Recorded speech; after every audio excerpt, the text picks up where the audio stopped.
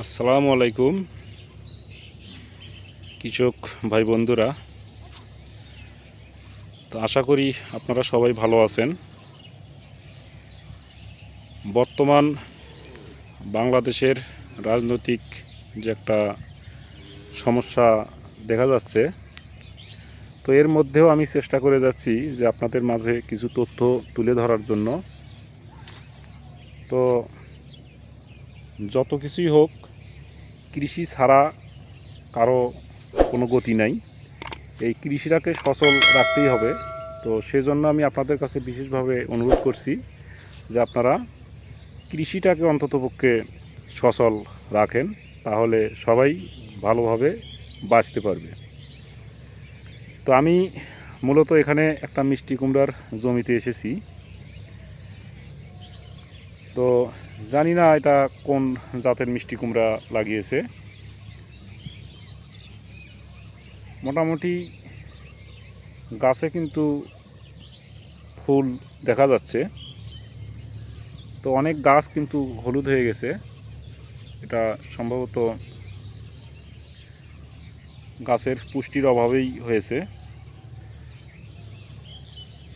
আর বেশ কয়েকদিন ধরেই বৃষ্টি হচ্ছে, এই বৃষ্টির কারণেও কিন্তু এই সমস্যা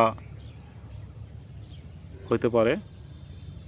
তো যাই হোক, মিষ্টি কুমড়ার অনেক কিন্তু জালি দেখা যাচ্ছে। তো এই বৃষ্টি হওয়াতে কিন্তু অনেকটাই কিন্তু ফসলের উপকার হয়েছে, তবে কিছু কিছু ক্ষেত্রে যেগুলো ছোটো সেই সেই গাছের কিন্তু অনেকটাই ক্ষতিও হয়েছে।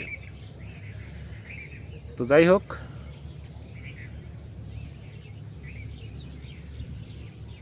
আমি যেটা জানতে পারলাম প্লান্টেন অ্যাগ্রো লিমিটেডের মিষ্টি কুমড়ার জাত।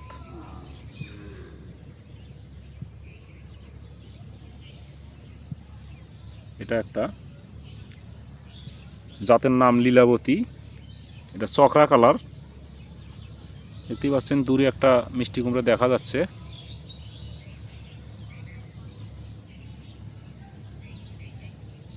অনেক ফুল ফল কিন্তু আসছে।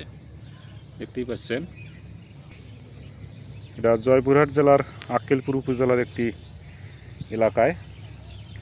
গাছ এখনও পরিপূর্ণভাবে মাথায় ভেরেনি তবে হয়ে যাবে। তো আশা করি আপনাদের কাছে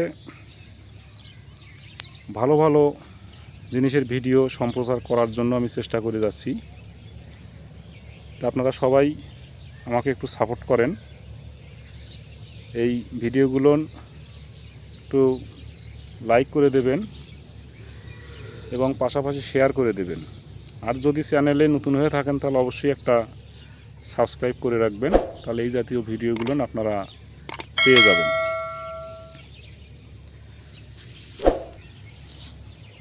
তোকে আসসালামু আলাইকুম।